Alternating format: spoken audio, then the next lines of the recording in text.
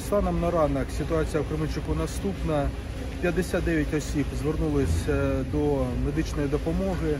25 з них було госпіталізовано до закладів Кременчука. Е, На жаль, 18 е, маємо загиблих людей. Щирі співчуття сім'ям та рідним. Продовжуються роботи по розбору завалів. Практично пожежі вже немає. На зараз планується залучення додаткової техніки. Загалом працювали на цьому об'єкті щодо розбору завалів та організації роботи біля тисячі осіб.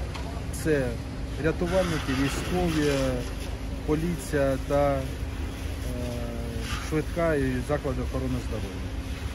Продовжуємо працювати. Зараз е, найголовніша ситуація швидко розібрати завали та визначитись е, з кількістю постраждалих. На зараз маємо 36 осіб е, зниклих безвісті, йдуть пошукові роботи.